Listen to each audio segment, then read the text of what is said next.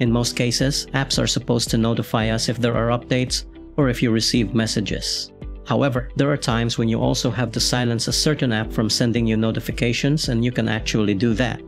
In this video, we will show you how to manage the notifications of Gmail on your Pixel 7.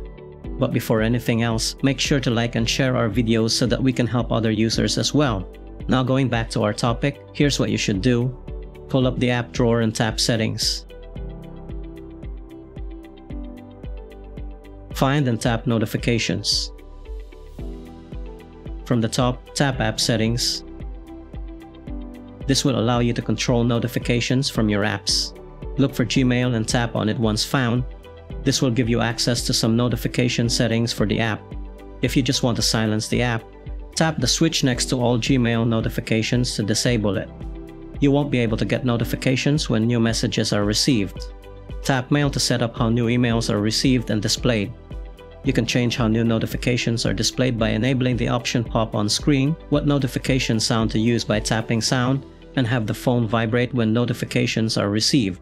You also have control over whether to show sensitive contents on the lock screen or not.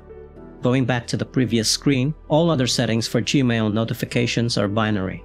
You can just flip the switch beside each one of them and they'll either be enabled or disabled. Play with those settings for a bit to make your phone and Gmail work the way you want. But as far as managing Gmail notifications on Pixel 7 is concerned, that's how you do it. We hope that this guide can help you. You may subscribe to our channel or click one of our videos to continue watching. Have a great day